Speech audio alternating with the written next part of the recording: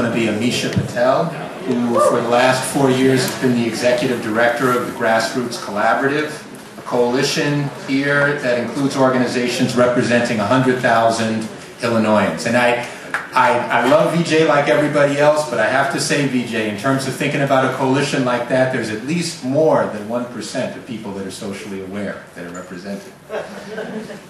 She has been involved, along with others, in a range of movements that have been very important for a number of years here around economic justice, responsible budget organizing, the campaign for an equitable Olympics, the Big Box Living Wage campaign, and New Chicago 2011, a very important progressive to radical intervention in relation to the mayoral election earlier this year. Um, she will be speaking about the ways in which Occupy corresponds to and works off of this years long, decades long in some cases, struggle for economic justice in Chicago. Amisha.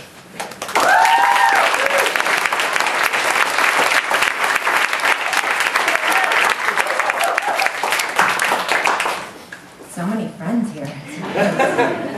How y'all doing? Um, so yeah, I, what I want to talk about is um, a few things. I feel like I should have three parts but I don't, so I'll make them up along the way. One.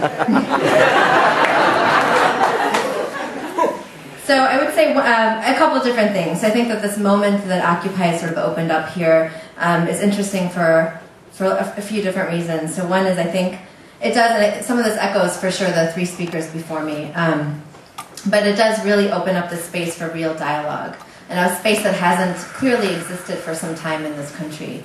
Um, and, and I think the space is really key for vibrant organizing, right? That there's lots of places that those of us who've been doing grassroots organizing have, have taken up space and have been trying to, you know, have been grappling with issues on the ground in communities.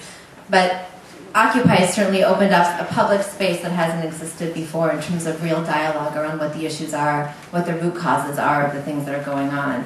And I think that, in particular, having this in a mainstream conversation is really interesting, and it does, um, with all of it, it does open up lots of things, right, in terms of uh, what the issues really are, um, what the um, struggles are within the conversation. And I would say that, you know, one of the things that have come up, I, you know, a lot of my news I get now through Facebook, right? So I get all these articles and a lot of things that I've seen in terms of how people are talking about Occupy. Um, there's a lot of, you know, clearly a lot of critique around the Occupy movement.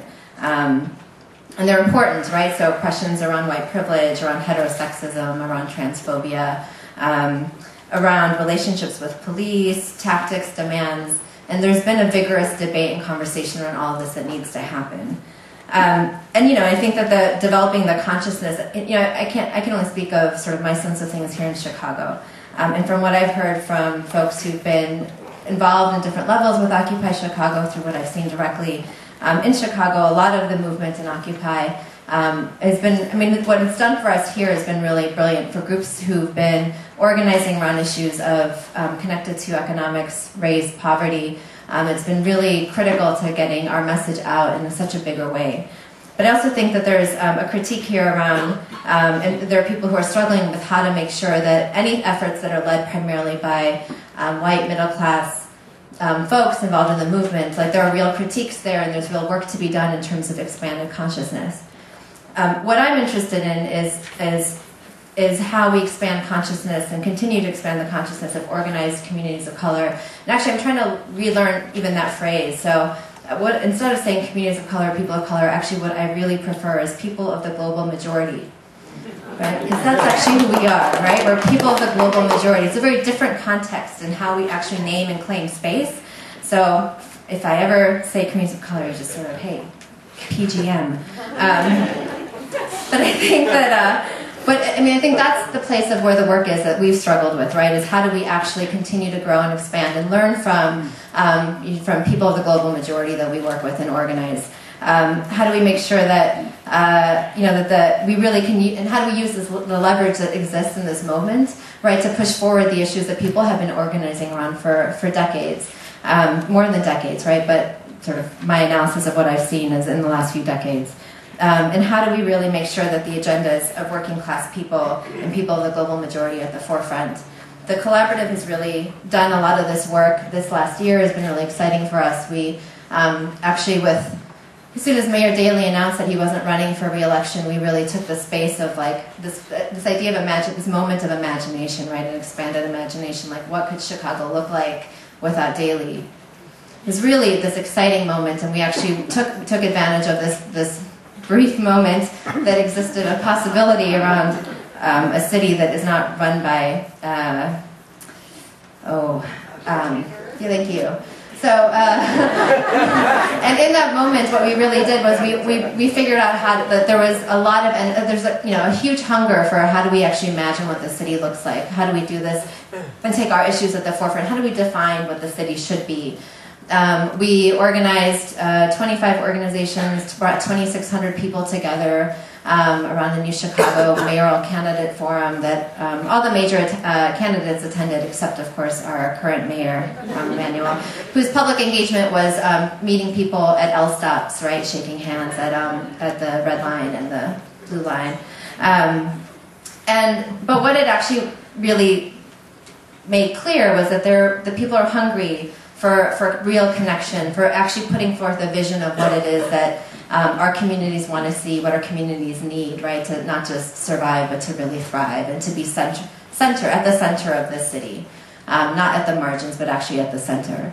And um, this, that work really, that sort of moment really sparked the work that the, the Grassroots Collaborative did this last year when, after the mayor was elected and um, city council changed in some, some ways, we did a power analysis of kind of examining, all right, so what does the situation actually look like in the city now?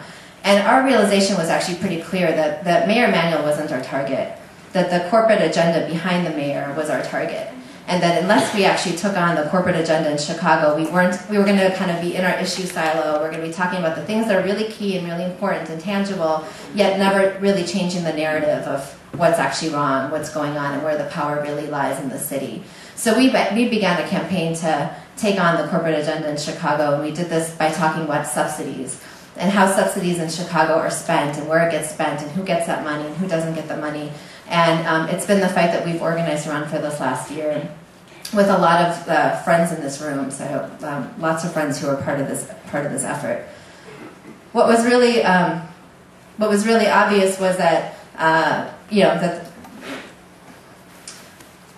we really there is this opportunity here to to move forward stuff um, and to move forward an agenda of what not just of what we were against but what we were for. And with occupy um, blooming it was really amazing in terms of what that did for our local organizing and the work that we've been doing in communities of color people of the global majority working families what they've really led for for decades without with minimal attention with being pushed to the side. Suddenly suddenly there was a there's a platform for that work right that we've been doing forever um, we got named as Occupy Chicago for everything we did, and we were we're okay with that, right? Because we don't care what you call us as long as you, you as long as you cover what it is that we're talking about. Um, and in our you know in through our organizing around subsidies, what became really obvious was it was a way for us to again to take on what, what the mayor was doing and what his corporate friends were doing in the city and continue to do without change with when it was Daley or what it was Emanuel. It's the same issues and the same struggle the fact that tax increment financing, TIF dollars, are spent, a vast majority of that money spent downtown, um, though that money was meant for not for blighted communities, right? So when you look at a map of where the money gets spent, and what that means is that um, downtown areas, wealthier neighbor neighborhoods, have literally tens of millions of extra dollar every year to spend on fixing streets, on, on potholes, on the you know all the stuff that um, that they have that money to spend on. Whereas communities of color communities of the people of the global majority um, really don't, you know, on top of having the issues be magnified um, hugely, on top of it, don't have access to this whole other layer, this whole other system of racial inequity.